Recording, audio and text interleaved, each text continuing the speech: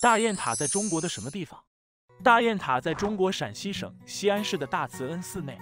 大雁塔又名慈恩寺塔。唐永徽三年，玄奘为保存由天竺经丝绸之路带回长安的经卷佛像，主持修建了大雁塔。最初五层，后加盖至九层。